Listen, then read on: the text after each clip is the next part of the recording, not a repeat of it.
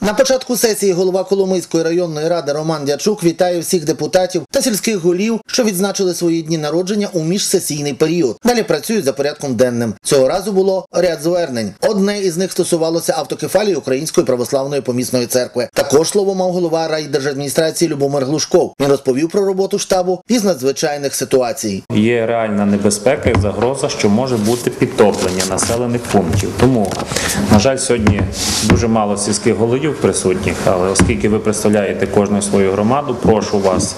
Відбулося засідання штабу щодо надзвичайних подій. Прошу відповідно організувати роботу в себе у населених пунктах, подивитися щодо готовності надання допомоги. Служби наші рятувальні будуть працювати в посиленому режимі ці дві доби.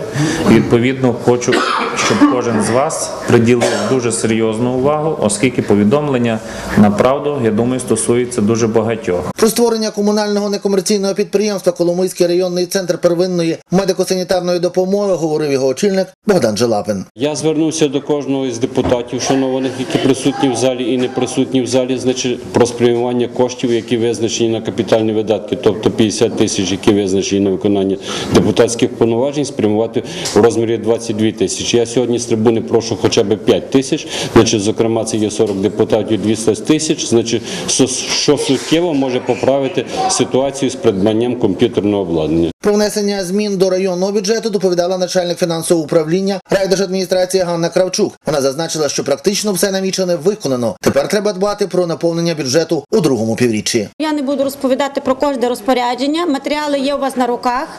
Але в основному хочу сказати, що ці розпорядження стосувалися внесення змін в частині міжбюджетних трансфертів, які ми отримували з обласного бюджету на різні видатки, на зміцнення переважно матеріально-технічної бази е, наших бюджетних установ.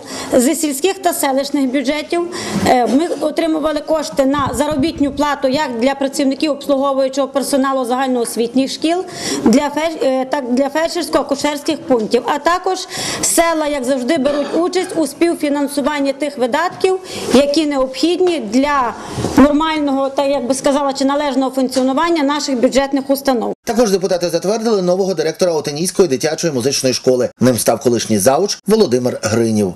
З Коломої Богдан Малецький, Сергій Алєксєєв, телерадіокомпанія Раї.